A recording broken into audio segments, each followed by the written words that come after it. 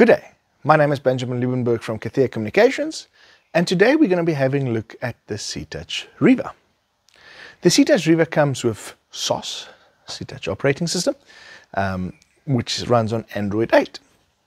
So, as part of that, you get your quick start options. You can customize this.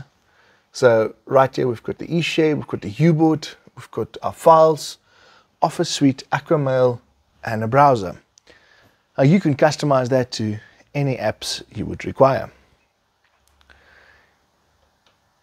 You can also launch from the button here on the blue your different inputs. So if it's just an audio input, HDMI, if you've got a built-in PC, USB-C,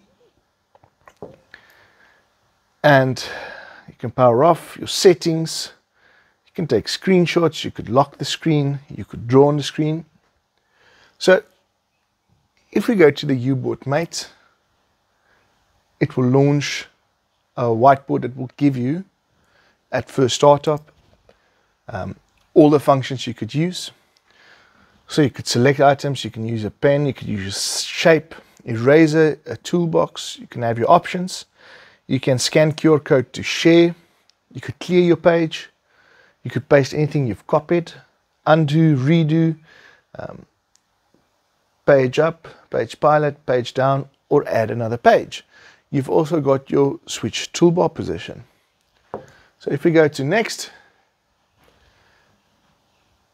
it gives you the different slide options that you could do for your colors, for your eraser.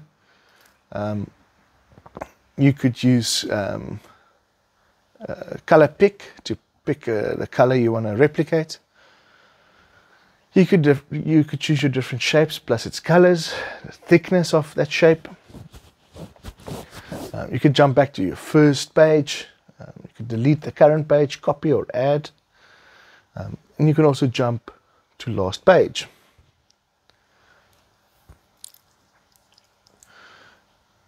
If you bring in your fingers, it will hide the toolbar. If you use your full hand or your fist, it will erase.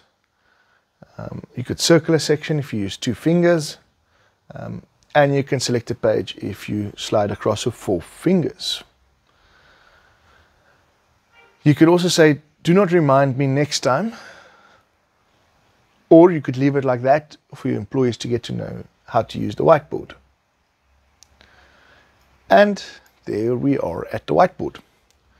Here you can select now your different colors. Um, and here's all the tools we have seen to be used.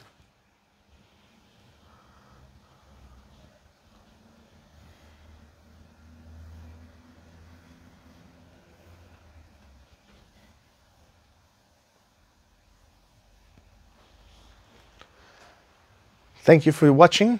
If you've got any more queries, please get in touch.